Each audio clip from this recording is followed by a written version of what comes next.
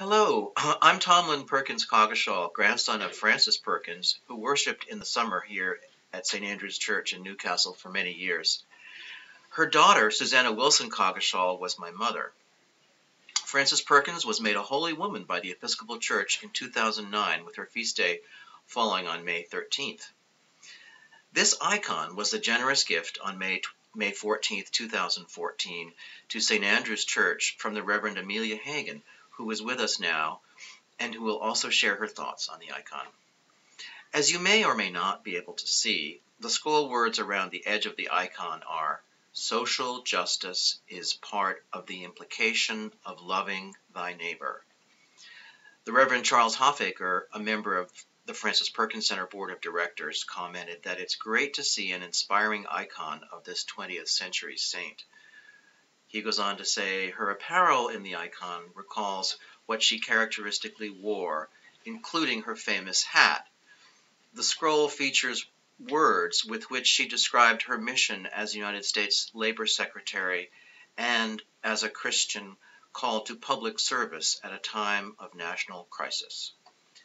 Saints are reminders to us, to us of how the reign of God is manifest in many times and places a saint from our society who lived not so long ago is a challenge for us to realize God's mercy is among us now, and we are to live in accord with that mercy.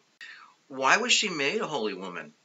As Secretary of Labor in the FDR administration, my grandmother, Frances Perkins, was a chief architect of Franklin Roosevelt's New Deal, which helped the United States and its citizens get through the devastating Great Depression, which started with the stock market crash of 1929 and ended in 1939.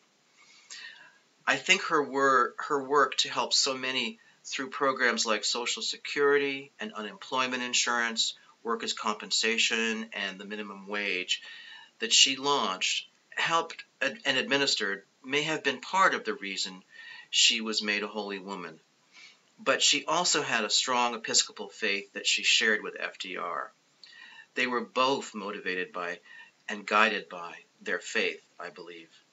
When FDR died in 1945, she was reflecting on her career and wrote to Justice Felix Frankfurter, her friend, as she was leaving, leaving office.